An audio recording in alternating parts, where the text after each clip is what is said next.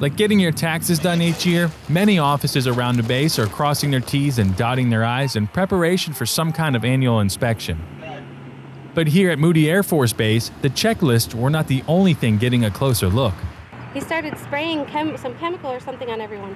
Holy crap! It started burning my eyes and throat, so I ran out. Responders quickly jumped into action. Short, we had an incident over at Building 907, which was the old outdoor rec, where we had about 12 airmen uh, inside.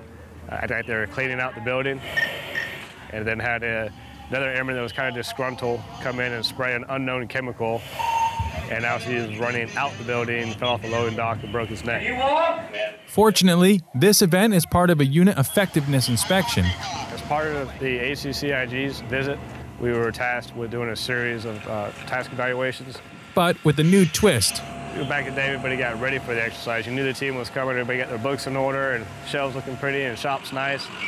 And as soon as that team left, they were like, oh yeah, threw them back on the shelves, you know, closed the doors, and didn't worry about them again, It's on. You can grab a couple, right? you know, until the team came back around. and with this new approach, And that meant everybody was more inspection ready rather than being mission ready, which is kind of the intent of the new inspection system. And it's not get ready, you should be ready all the time. That, that's our job 24 7, not just bits and pieces out of the year. reporting from Moody Air Force Base, I'm Staff Sergeant Richard Kaulfers.